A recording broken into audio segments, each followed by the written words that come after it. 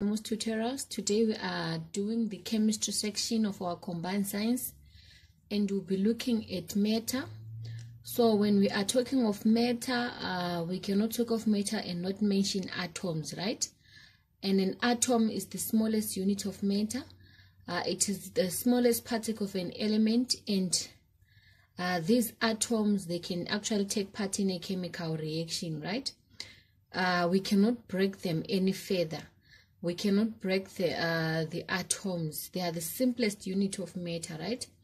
So these atoms they are made up of what we call electrons that and these electrons they are negatively charged.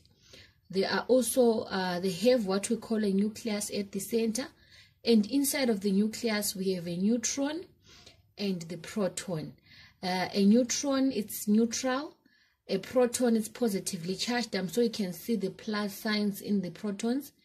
And the another special thing about these um, atoms is that uh, their number of electrons they are always equal to the number of electrons. So at the end of the day uh, their charge will be zero okay?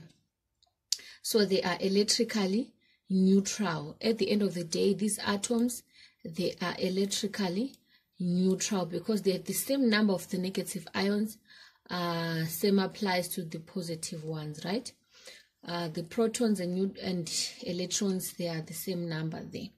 So now uh, the next thing that I want us to have a look at is the sub, uh, the sub these subatomic particles to say um sorry about that to say our um, proton where do we find it? It's very important you master this the proton is found in the nucleus. And what's the proton charge? It's plus, plus one, right? And then what's the mass? It's a positive one, right? Neutrons, we, are also, we also find them in the nucleus. And their charge, it's zero. They are neutral. They don't have a charge. Their mass, it's one. What about electrons? We found them, we find them in the atomic shells. And their charge, it's negative. Their mass is 1 over 1840, which is 0, 0.0005, meaning it's very, very light, right? They are very light. And then we have what we call the nuclide notation. Uh, this will help you.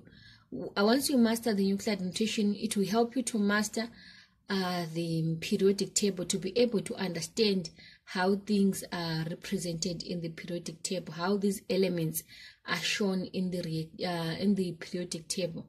So now, if the chemical symbol for an element is represented by the letter X, X is for the chemical symbol of an element, uh, and then the symbol for the mass, uh, it's represented represented by big letter A and the mass it is written at the top left hand side of the chemical symbol. Take note of that. The mass of a, an element it is written at the left hand side of the chemical symbol. And then the proton number right? The proton number which is also called the atomic number it is written at the lower left hand side of the symbol right? Uh, let's have a look at an example. So x uh, looking at x there. X is the symbol of our element and uh, a will be our nucleon number. Nucleon number is the mass number and this nucleon number is the number of protons and the number of what? Of neutrons inside of our nucleus right? And then the proton number will be at the bottom like that. So for example they gave us carbon. The mass of carbon is 12 and the atomic number for carbon is 6 6 is the proton number, which is also called the atomic number. The mass number is also called the nucleon number, which means it is the number of protons and neutrons uh, inside of our nucleus. So we call it the nucleon number.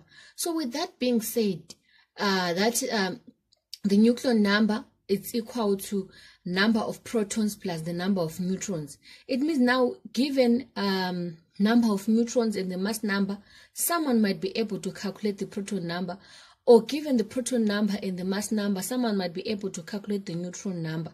How? Already you have the equation mass number is equal to number of protons plus the number of what? Neutrons. So meaning to say, for example, here number of neutrons will just be mass number minus the proton number, right? For example, we are having um, oxygen. Oxygen has got a, a, mass number of 16. So if we say 16 minus 8, uh, 8 number of protons, uh, we get 8 neutrons. So it simply means oxygen has got 8 neutrons, right? As for chlorine, uh, it has got the mass number of 35 and the number of protons are 17. We simply say 35 minus 17 and we get 18 neutrons.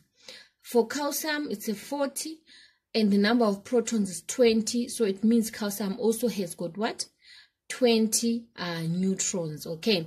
So on our next video, I'll be focusing on the isotopes and um, we'll focus on the isotopes and then we'll take it from there, right? I hope you guys are understanding. I hope we are together because this these are just the basics of for um, the chemistry section, right? Which is a very long section. So see you guys on our next topic.